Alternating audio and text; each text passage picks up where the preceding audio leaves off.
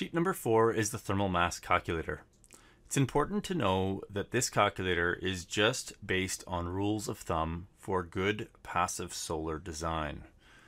Therefore, the thermal mass Therefore, the quantity of thermal mass that this sheet recommends is only a starting place. The way the calculator works is it takes a southern glazing area, and typically we choose the largest glazing area that you have to the south. However, you could take an aggregate glazing area of all the, the windows that are facing to the south if you chose. It takes a selection by the user with regards to what type of thermal mass they're going to use, the thickness of that thermal mass, and then it provides you with a volume and an area, as well as a mass.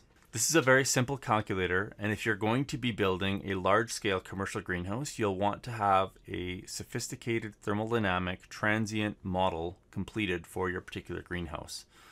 You can use this for larger greenhouses, but again, it is just a starting point.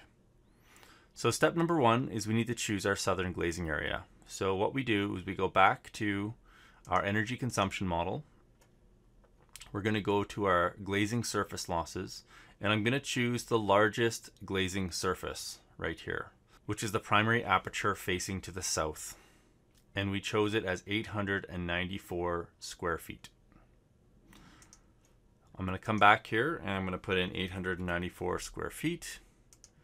I'm then going to choose my thermal mass and you'll notice we have a selection of different types of thermal mass, everything from aluminum, brick, cast iron, concrete, ethylene glycol water mix, which is a liquid thermal mass that will not freeze, fire clay, granite, rock, which would likely be freely available on most sites, and just standard water. So I'm going to choose concrete. If you're using natural building materials like cob, concrete would be the closest thing. And I'm going to assume that I have a 10 inch thick thermal mass on the back, which is telling me that I have to have 506 square feet of thermal mass which is equivalent to 3,153 gallons. If I do not have 506 square feet of area for the thermal mass, in other words, a vertical slab, then I can increase the thickness of that thermal mass to something thicker. So essentially, right now, if I chose concrete or cob as my thermal mass, and I wanted to make a cob wall somewhere in the greenhouse that was 24 inches thick, I would need 211 square feet of cob. This is equivalent to 30.3 metric tons, and this is going to store an immense amount of thermal energy in our greenhouse, which is going to help it to stay warm during those cold evenings.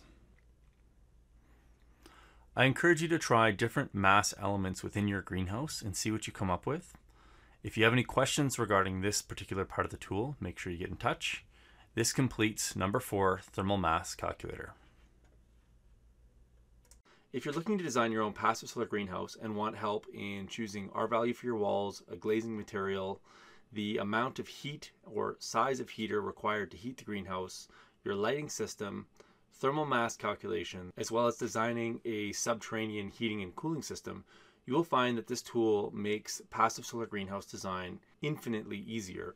These videos will show you how to use the tool and if you're interested in purchasing the tool for your own passive solar greenhouse design, you can find information on how to purchase the tool at Small Farm Academy in the link below.